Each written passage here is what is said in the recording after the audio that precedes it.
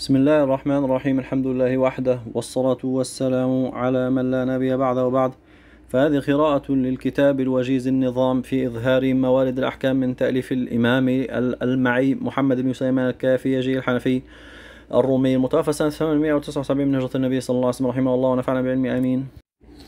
بسم الله الرحمن الرحيم. وبه نستعين. الحمد لله الذي هدانا بفضله لمدارك الأحكام والصلاة والسلام على رسوله المبعوث لبيان الحلال والحرام وعلى آله وأصحابه أولي الخير الكرام. وبعد فهذا كتاب الرمز للمدارك على طريقة السلف والخلف بأخصر الكلام وفيه مرصدان يطلعان على خزائن فرائد فوائد بحر المرام. في سلك حسن القبول والانتظام بطيب الختام.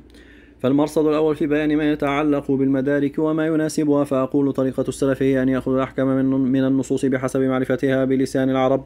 مع صفاء عقول معنى الشك والشبه لكونه من خير القرون أو في القرب منه مع أن فيهما أئمة كالنجوم وقلة الحوادث فهم لا يحتاجون في ذلك إلى تحصيل اصطلاحات العلوم المدونة لمن بعدهم كالنحو والصرف والأصول وغيرها مثل احتياج الخلف إليه لكونهم أغنياء عنه على طرف التمام بجودة سليقتهم واستقامة أذهانهم في درك المعاني من في درك المعاني من طرقها بأحسن أحسن ما يكون. فإذا كانوا بهذه المنزلة الشريفة كانوا عن الالتفات إلى سمت جهة تحصيلها والعمل بموجب ما تعمق فيها الخلف على أجناس وأنواع وأصناف وكتب وفصول وأبواب على ما حرر فيها بمراحل. فيكون غناهم عما ذكر مدحا لهم وحسن ثناء عليهم وأما سوء الظن بطريقتهم فحاشاهم عنه ثم حاشاهم. وأما الخلف فهم ليسوا كالسلف فيما ذكر فاحتاجوا في أخذ الأحكام من طرق إلى تحصيل العلوم المدونة المذكورة بأحسن بأحسن ما يكون. والاستخراجها منها على حدها ووجهها على سبيل ضبط المقصود منها على حده ووجهها على ما ينبغي ولأجل هذا كثرت الاختلافات فيما بينهم وذكرت في كتبهم المذاهب المختلفة واختلطت مسائل بعض العلوم بمسائل البعض الآخر. لمساسة الحاجة إليه فالخلف في هذه المنزلة النفيسة يستحقون الثناء عليهم فجزاهم الله عنا خير الجزاء. ومصداق هذا قول النبي صلى الله عليه وسلم اختلاف أمتي رحمة. وكذا قوله عليه الصلاة والسلام مثل أمتي مثل المطر لا يدرى أول خير أم آخر. وكذا قوله عليه الصلاة والسلام رب حامل فقه لمن هو أفقه منه فكيف لا؟ وإن القرآن معجز باق فيه علوم الأولين والآخرين وقد اشتغل هذا الخبر المقبول عند الكل يحمل هذا العلم من كل خلف ودول ينفون عنه تحريف الغالين وانتحال المبطلين وتأويل الجاهلين. ولأجل هذا قال الإمام أحمد رحمه الله وقال المجتهد في هذه الأمة إلى يوم القيامة كما قال العلماء العلوم تزداد بتلاحق الأفكار يوما فيوما. فصار قول من قال كم ترك الأول الآخر مثلا مشهورا في هذا المعنى ومن هنا نشاء قول من قال وإذا كنت بالمدارك غرا. ثم أبصرت حاذقا لا تماري. وإذا لم ترى الهلال فسلم لأناس الله بالأبصار كما نشاء من قول من قال ومن كملت معانيه وتمت يرى الأشياء كاملة المعاني. والمرصد الثاني في بيان ما يجوز للخلف أن يأخذ بمعرفته بعض بعض الأحكام كما يجوز لهم أن يجتهدوا فيه إذا كانوا عالمين بالطريق بالطريقين على أحسن ما يكون. فأقول أما بين الأول فيجوز للعالم بأن يستنبط جواز جعل الإنسان ملكه وقفا على الفقراء من ظاهر عموم قول الله عز وجل فاستبقوا الخيرات وقوله وما تفعل من خير فإن الله به عليم. ونحو ذلك ويجوز له أيضا أن يأخذ جواز جعل الواقف نفسه ناظرا على وقفه أيام حياته من إطلاق قوله تعالى وافعلوا الخير لعلكم تفلحون. ومن دلالة النص الدال على جواز جعل غير ناظرا عليه قول الله عز وجل وتعاونوا على البر والتقوى مثلا ومن موجب القاعدة الشرعية المناسبة لرعاية مصالح العباد حتى لو عرضت على العقول لتلقتها بالقبول حتى لو عرضت على العقول لتلقتها بالقبول. أي قبول أي قبول على ما تسمع وترى بحيث لا شك فيها ولا مرى أي قبول على ما تسمع وترى. بحيث لا شك فيها ولا مراء فتشك في هذا. كلا فكلا ثم كلا فإن قلت ما هي تلك القاعدة.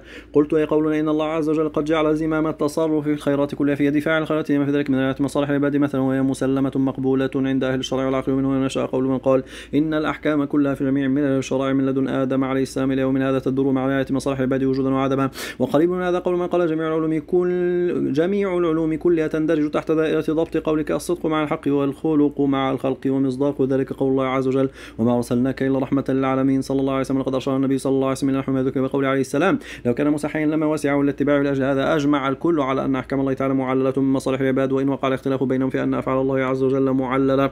هذا وهكذا يجوز له أن يستنبط جواز جعل غلة وقف على نفسه أيام حياته من إطلاق قول النبي صلى الله عليه وسلم ابدأ بنفسك بدون احتياج فيه إلى التمسك بقول مجتهد.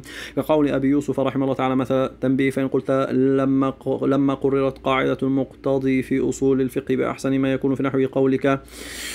أعتق عبدك بألف فليمكن أن يستفاد حكم الإثبات في المستثنى في قولنا لا إله إلا الله قاعدة المقتضي؟ ها هنا بدون احتياج فيه إلى القول بطريق اللغة ولا إلى القول بالإشارة ولا إلى القول بالضرورة فذلك على ما اختلف القوم في ذلك.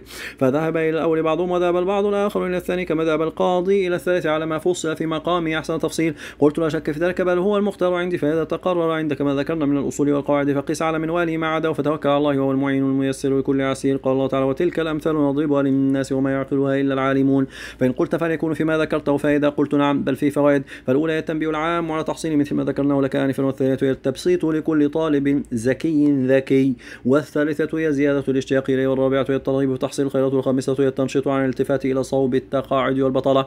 إلى غير ذلك من الفوائد التي تكاد ألا تحد ولا تعد. وأما بيان البحث الثاني على سبيل الإجازة فهو قول يجوز له أن يجتهد في أمر من الأمور على ما علم حكمه في الشرع في ظنه نصا وصريحا.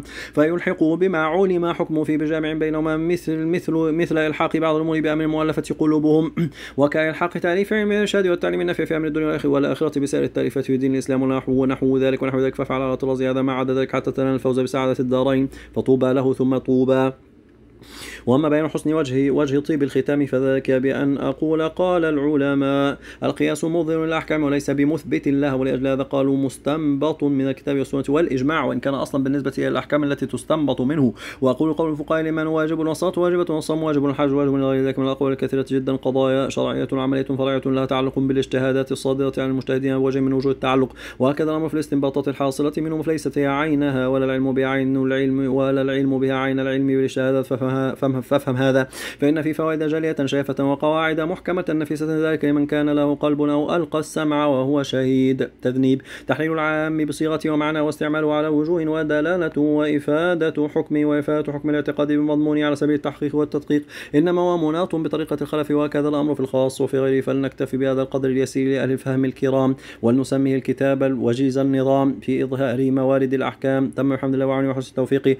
وصلى الله على سيدنا محمد المكرم وعلى آله وصحبه وسلم. اللهم صل وسلم وبارك على نبي محمد بعدد خلقك ورضا نفسك وزنة عرشك ومن ذلك متك إلهي نجي من كل ضيق فأنت إلهنا. مولى الجميع. قبل في المدينة مستقر ورزقا ثم دفن بقي واغفر لي ولوالدي ولمشايخ المسلمين. آمين.